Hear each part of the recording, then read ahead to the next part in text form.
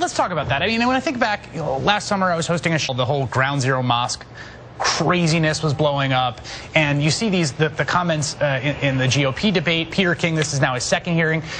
Are you surprised by how virulent and intense um, this has become amongst the Republican Party, how mainstream it's become, that this is now kind of a plank of, of the Republican agenda is really going after Muslim Americans.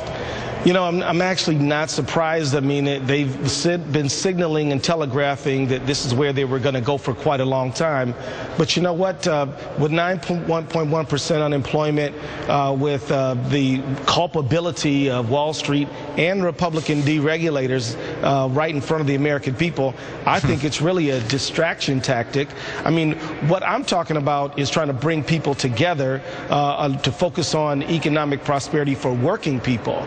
That that, that's what I think we need to focus on. And so I'm hoping that we can we can focus on bringing Americans together, liberty and justice for all, not just some. I would. I